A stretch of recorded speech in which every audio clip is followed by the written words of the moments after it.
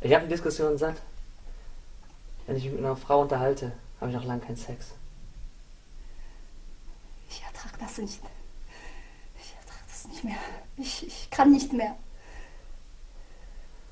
Du willst Schluss machen. Ja? Hör auf, verdammt nochmal ab.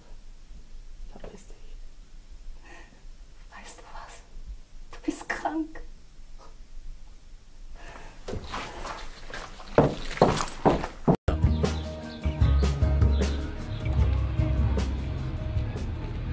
Mag auch, äh, wenn man das nicht denkt, komödiantische Rollen sehr. Ich finde, ich, ich liebe den Klamauk. Ich hätte auch gerne Nackte Kanone gern gemacht. Das darf man wahrscheinlich nicht offen zugeben, aber ich finde Nackte Kanone jeglichen, jeden Teil super.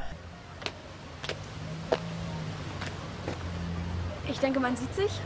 Ja, man sieht sich. Cool.